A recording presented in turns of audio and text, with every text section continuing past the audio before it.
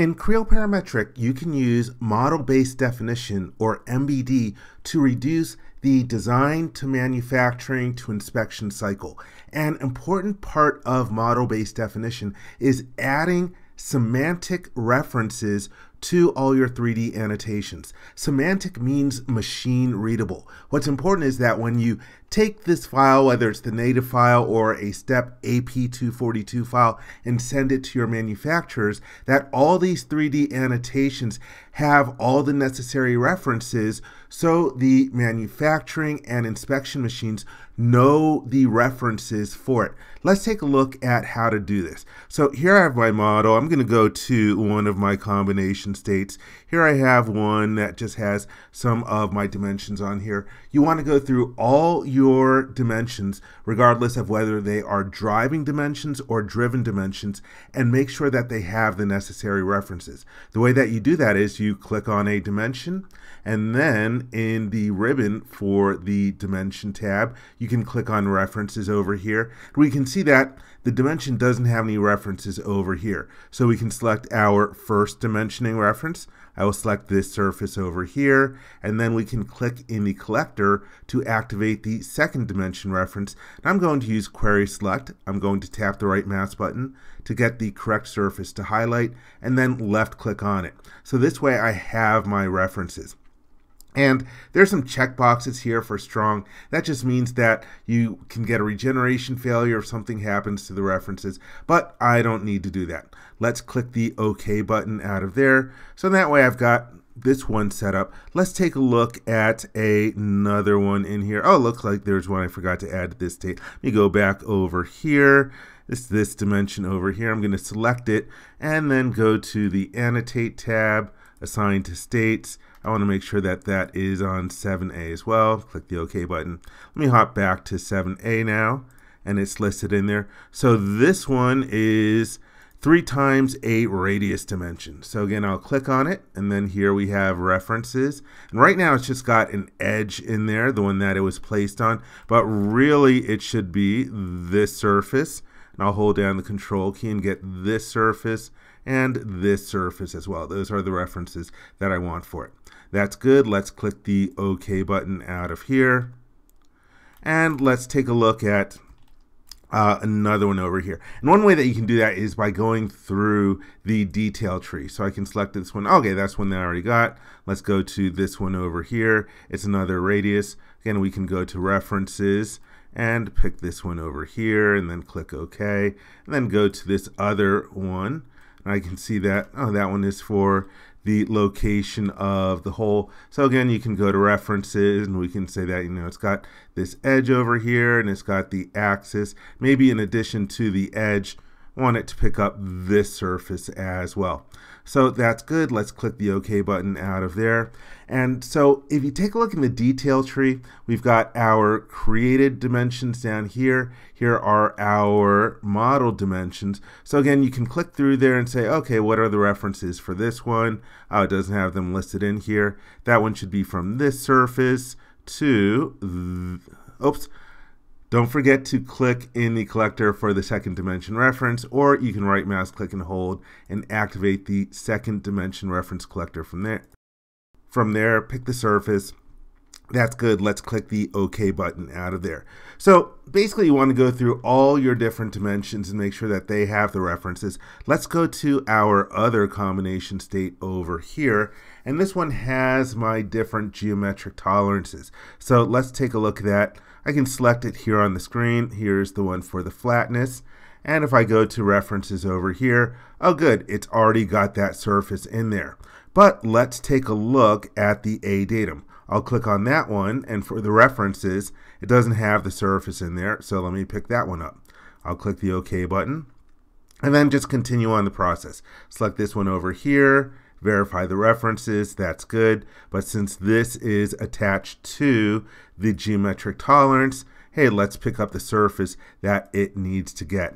And let's take a look at couple other ones in here. Here I have this surface profile, and it's to go from a G location to an H location, which I don't have in this combination state. If I go back to default all, there are just a couple notes over here for G and H. But let me go back to 7b where I have this one. So I can select the geometric tolerance, go to references, and right now it just has one surface in there, but really it's supposed to have all of these surfaces in here. So let me use the control key to grab all the necessary sur surfaces for the surface profile geometric tolerance. So that's good. Let's click the OK button over here. And another example where you might have to pick up multiple different references. Hey, here we have this one for a geometric tolerance. Let me go to the references for the position one. And so for this one, it's for the different holes in here. So maybe I want to pick up the locations of these different holes in here and click the OK button. And for the dimension, if I go to references, I might need, to grab all these different surfaces for the dimension one. Uh, really, you'll want to check with your manufacturers and inspection people to make sure that you have all the necessary references that the machine should pick up. Let me click the OK button out of here. And similar for this other hole over here, I can select the position geometric tolerance, then go to references, and that should most likely pick up these surfaces over here and click the OK button and then go to the call out for the actual holes themselves and the references for this one. Since this calls out the counterbore and the countersink, probably want to grab all these surfaces involved with the hole. There we go. Click the OK button. And let's see other ones I want to pick up, oh yeah, make sure that datum tag C, does it have the necessary reference? That should be this surface over here and click the OK button. And so in that way you can go through and make sure that you do this. One thing to be aware of, depending on the version of Creo Parametric that you are in, you may need to create an annotation feature in order to select the references, depending on the type of annotation that you're using. I am in Creo Parametric 7.0, so I am able to add the references to annotation elements for dimensions, geometric tolerances, and notes uh, but let's take a look an example of surface finishes. Let me go make sure that I am using the right combinations, or excuse me, right annotation plane. B looks good. Let's say I want to call out a surface finish for this surface over here. I will click on surface finish and then here I can click on the browse button if I want to grab a different one. Let's grab, let's say, a machined one. Let's use standard one and from variable text, here's the roughness. I can change it if I want to. Let's go back to the general tab. Here for the model references, I will pick this surface over here. And maybe for the type that I want to use, let's do with leaders and I'll locate on this surface and then middle mouse button. So there I have the surface finish created. And here we have model references. But depending on the version of Creo Parametric that you are in, you may need to create an annotation feature so that this particular surface finish picks up the necessary references. Let me click OK out of here to create it.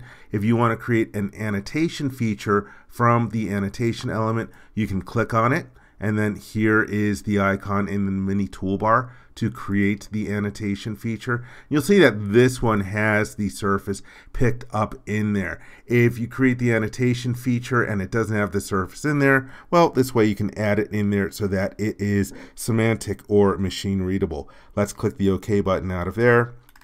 And if I scroll down to the bottom of the model tree, here we have the annotation feature. You can also right click on the annotation feature and move it to the footer if you don't want it in the main body of the model tree. So in that way, you can take your different annotation elements and driving dimensions and annotation features and add the semantic references so that when you actually take these files and use them in your manufacturing and inspection software that it's going to understand the necessary references and this is a really critical step of the model-based definition process. Make sure that you do this before generating your technical data package. I hope you enjoyed this video. For more information, please visit www.creowindchill.com. If you learned something from this video, please give it a thumbs up. And if you like this video, please click the subscribe button and ring the bell to be informed when new videos are uploaded. Thank you very much.